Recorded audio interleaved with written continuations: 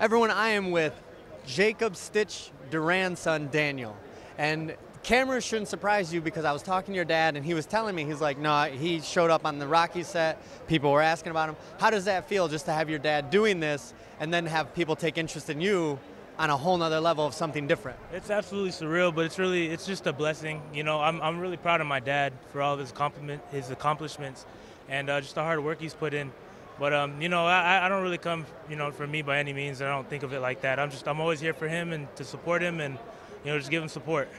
Now, being his son, that's like being a, the son of a traveling salesman, a guy who travels a lot. What's that like? Did you just get used to like, right, I'll see you Tuesday? yeah, that's that's exactly what it was. Um, a lot of people ask me the same question. You know, how is it? Oh, your dad's always gone, but you know, I'm just I'm used to it now. You know, so. Uh, it's, it's kind of all I've known. But uh, we get used to it, and, and there's times where he'll be home for a long time. It's always good having him home. So, is there any fights you can look back at that you've seen him work, and you thought, ugh, like I don't know what he's gonna do, but ugh. um, one that I can really think about is Stephan Bonnar and Forrest Griffin. That was a, that was actually I think it might have been my first fight that I went to, and uh, that one was a bloodbath, and that one was crazy. But uh, at that time, yeah, I definitely I was wondering. I was like, how's my dad gonna work on this one? but yeah. And now I know, I don't know if you want to mention it. A lot of people. How do you feel about the sudden attention he really got? Because he stood up for himself. Did that freak you out? Did people stop you and say anything about that, or do you just stay out of it? No, and I had I had a lot of people actually a lot of people hit me up on Facebook um, and just text messages, hearing what happened. People at work even um, just talking about it and, and bringing it up and but they had their support. I had their support from them um, for my dad, which was definitely much appreciated. But um, yeah, a, a, lot of people talked to me and mentioned to, uh, about it with me. But uh, I, I, I respect my dad a lot for you know what he did because somebody had to do it, and uh, and yeah, it was something you know somebody it, it couldn't go by for too much longer, you know. And how many of the fights have you actually got to be a part of and go backstage or do anything with since his career is so large? Quite frankly, I couldn't tell you off the top of my head. Uh, it's been a handful, though.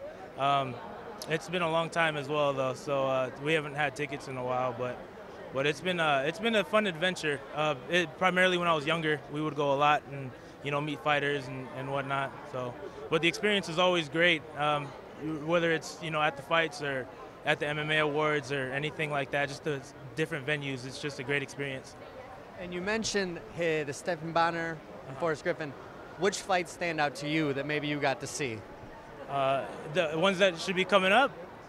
In the past, the ones that you, those are the ones that instantly stay on your head. When it comes to cuts and stuff, I would have to say Robbie Lawler and um, and uh, what's Rory? Yes, thank you, Rory. Rory, the, the, whole nose and the lip and everything was it, it was a great fight. But there's too many, man. I, have seen a lot of fights, so there, there's too many to, to really, there's too many to list. Does it ever? My girlfriend will always ask me, why don't you go to the bar and watch a fight? And I tell her, like, this is part of my industry. Mm-hmm. Have you ever really took a step back and thought, I've seen like at least 105 grown-ups get completely knocked out. That's weird. That's not normal. Do you ever take a step back and think that? I honestly don't. Uh, it, it might have just been. It just might have been embodied in part of my lifestyle now. You know, just since it's my dad and that's his career. Uh, but I love it, so I don't think I really took a step back to to really analyze it. But um, sometimes it hits me, you know, what my dad does, but not so much as uh, enjoying the fights. That's just something I always loved. So. Now, outside of the, a lot of people know him just as Stitch, uh-huh. but he's also a boxing trainer. He's also a kickboxer. He's a coach. Did you follow in any of that? Are you training? Are you staying out of the mixed martial arts cutman game? What's your path right now for you? Uh, for for a career path right now, um, I'm, I'm, currently not doing you know the cutman thing. My dad and I definitely do the train though. Uh, you know, he trained in uh, Thailand for several years while he was in the Air Force. So you know, he he shows me uh, he shows me the ropes with uh, Muay Thai. So I definitely love training with him. Um, as a career, though, you know, I, have been I've been telling my parents, you know, I'm getting into an acting career, so I've been focusing on that right now. Um, Thank you. Thank you so much, man. Thank you so much, man. I appreciate it. No